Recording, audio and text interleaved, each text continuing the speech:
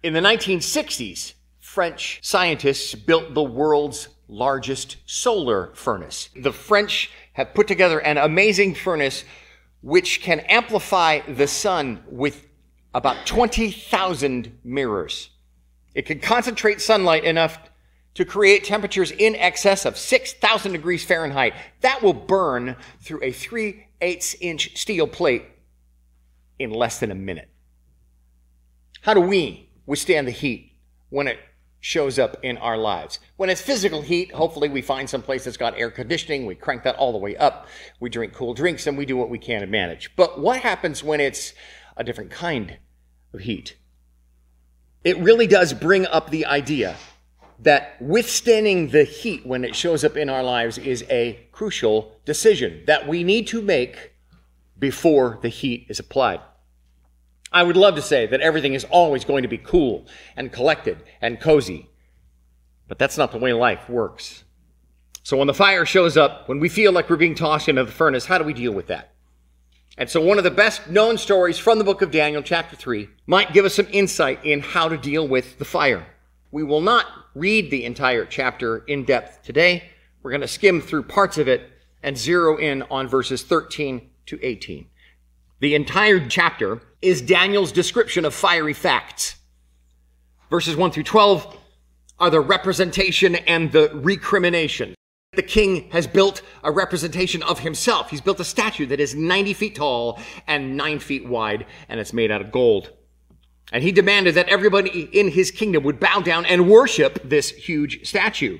We aren't exactly told why he does this from chapter 3. But remember, last week, the king had a very disturbing dream, and he was looking for a wise men who could tell him what the dream was and what it meant. Last week, we only got to deal with the puzzle part of that dream, but we didn't talk specifically about the content of that dream. King Nebuchadnezzar had a dream of an enormous statue. And Daniel told the king that the dream statue represented his kingdom. In the very next chapter, we see that the king has commissioned a gigantic statue in reality, which he then commands that everyone in his kingdom bow down and worship. It seems pretty obvious that King Nebuchadnezzar was intent on making his dream a reality, that everyone would recognize that he was a worthy king and should be revered as such. That's the gist of verses 1 through 7. Verses 8 through 12 are the recrimination. Let's summarize. You see, there are some non-Jewish people who are in the wise men class, and they're pretty upset about how Daniel, Shadrach, Meshach, and Abednego have been doing in the non-Jewish Babylonian court. And they say, uh, wait a minute, king. You made a rule that everybody's supposed to bow down and worship your image, but these Jews refuse to do that. You have to have them killed. That takes us through verse 12. So now, let's look at the details from verses 13 to 18. Verse 13. Furious with rage, Nebuchadnezzar summoned Shadrach, Meshach, and Abednego. So these men were brought before the king, and Nebuchadnezzar said to them, Is it true, Shadrach, Meshach, and Abednego, that you do not serve my gods or worship the image of gold I have set up? Now, when you hear the sound of the horn, flute, zither, lyre, pipes, and all kinds of music, if you are ready to fall down and worship the image that I made, well, very good. But if you do not worship it, you could just about sense the finger wagging, right? You will be thrown immediately into a blazing furnace. Then what? God will be able to rescue you out of my hand. Verse 16 Shadrach, Meshach, and Abednego reply to the king, O Nebuchadnezzar, we do not need to defend ourselves before you in this matter. If we're thrown into the blazing furnace, the God we serve is able to save us from it, and he will rescue us from your hand, O king. But even if he does not, we want you to know, O king, that we will not serve your gods or worship the image of gold that you have set up. So in Daniel's description of fiery facts, verses 13 and 14 are the rejection. Look at this phrase. Is it true that you don't worship? The king is asking, You don't serve my gods? You refuse to worship my image? And I want to make sure that we understand. I don't think this is the my as in possessive, as in like I own the statue. I'm pretty sure this statue looked like Nebuchadnezzar. Nebuchadnezzar makes a 90 feet tall, 9 foot wide, solid gold representation of himself. I think this is my opinion, can't find it in the text, but I'm pretty sure that would explain why he's so immediately incensed. Because Nebuchadnezzar isn't just saying, I've passed a law. You, everybody has to obey the law. This is the same thing as following a speed limit sign. No, no, no, no. You don't worship my image? Ugh, he's really offended. Now, from our standpoint, looking back at this narrative, of course that's true. Of course, Jewish refugees from exile in Babylon aren't going to worship Babylonian gods. They're not going to worship the golden image of anything. That went badly for Jews before with the golden calf. Remember that part? So, of course, they're not going to do that. The whole point of Daniel is that Daniel and his buddies can be used of God in a pagan land. But the people who live in the pagan land, they don't get that.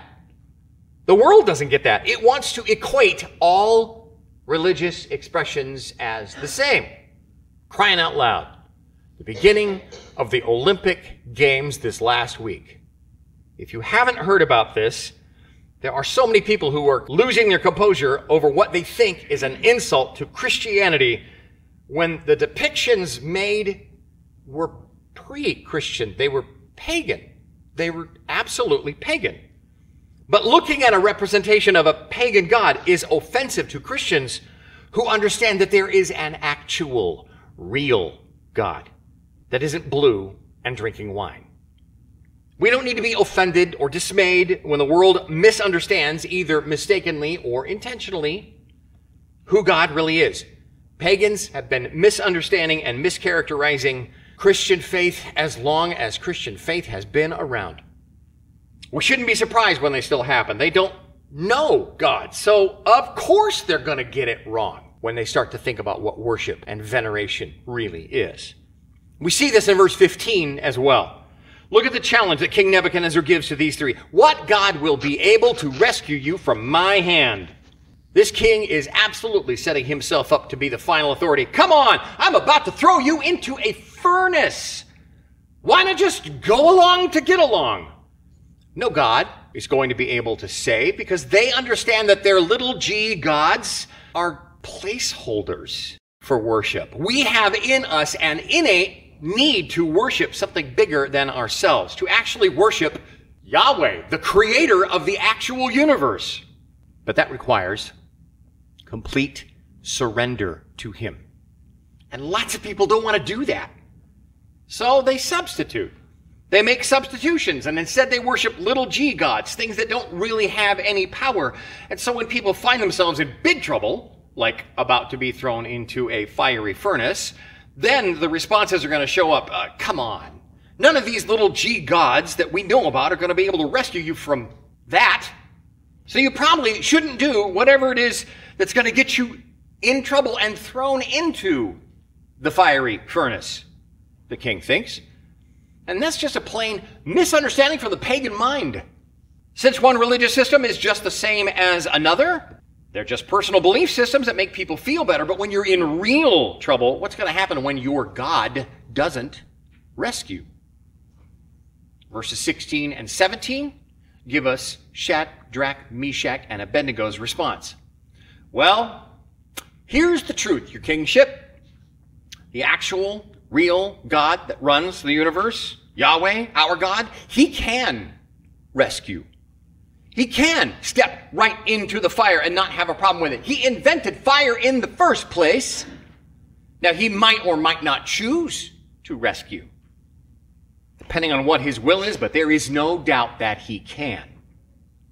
These three men know God. They walk with the Lord, so they're not concerned about it. And in verse 18, they make sure to underline that thought.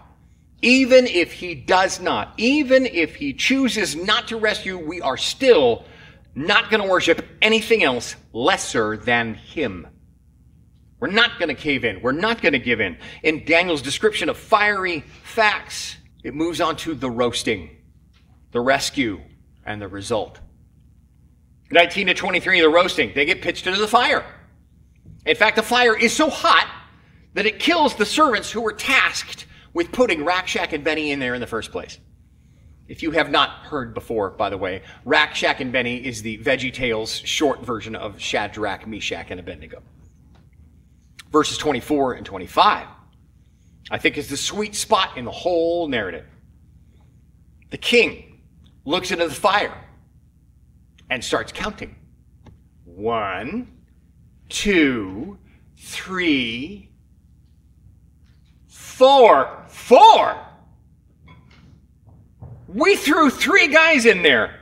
The other guys that were close to it all died because it was so hot. How come there are four guys in there and one is like a son of the gods? Verses 26 through 30, of course, tell us the result. They stroll on out of the furnace. They come out of the fire. They're not singed. Their clothes aren't torched. They don't even smell like barbecue. They are completely unharmed by the fire. And the king is blown away. Nebuchadnezzar realizes that there is an actual, real, capital G God who is protecting these men, and he makes an edict. Nobody is to say anything against the God of Shadrach, Meshach, and Abednego because no other God can do what their God can do. Don't you wish more people in a watching world would come to that conclusion about Jesus? And here's a closing thought to consider. The king's statement in verse 25 about a son of the gods, from his standpoint, is just using a description of something that he can't really wrap his head around. He's trying to understand it, so he uses the phrase like a son of the gods. So we need to be pretty careful that we don't read into what King Nebuchadnezzar says here. He is not saying, oh, that's Jesus. He doesn't know that. He can't know that. We know that. Looking back on it, we can realize that's Jesus showing off. That's what's happening there. But that's not actually in the text of Daniel. That comes from our understanding of the New Testament. Teachings about Christ that have been laid over what is taught in the Old Testament. Looking back on this, we can understand that the pre incarnate Christ is the Son of God in the fire. He's not like a son of the gods, he is the Son of God standing in the fire with Shadrach, Meshach, and Abednego. And we can trust that when we go through the fire, whatever it is ourselves, that we can expect Jesus to show up as well. Either to stand with us in it or to take us home because of it. Let's pray. So, Lord, the truth of it is we don't like pain. We don't like being put in situations that are terrifying and imply that we're going to experience something that we don't want to experience. We don't want that one little bit. We want a nice, comfortable, safe life. But that's not necessarily the case for all of your followers. It might be the time that you call us to go through something that we don't want to go through. And in those times, help us to remember that you are standing right with us. You will never leave us. You will never forsake us. We are never going to be alone when we face whatever we have to face.